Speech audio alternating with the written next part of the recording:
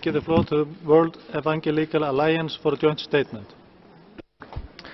Thank you, Mr. Vice President.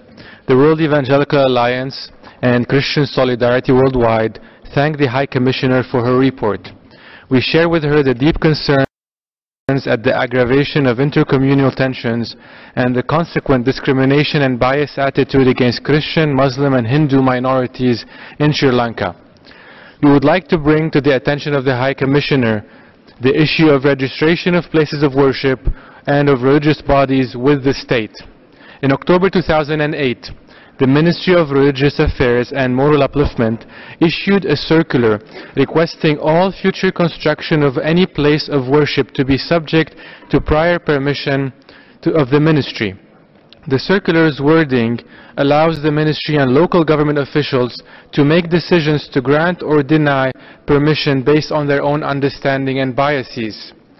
Local level government authorities and law, law, enforcement officials have used the 2008 circular to curtail the rights of religious minorities and subject them to harassment.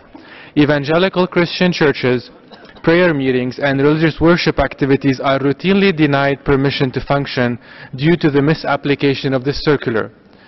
The procedure prescribed by the circular is inconsistent with the principles of equality, non-discrimination and justice.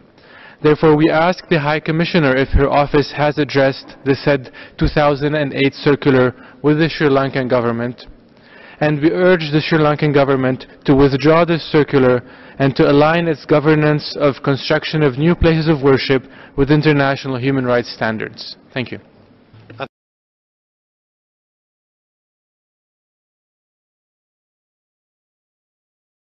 In terms of the question of freedom of religion, we believe that freedom of religion should not be restricted in any part of the country by bureaucratic or administrative burdens.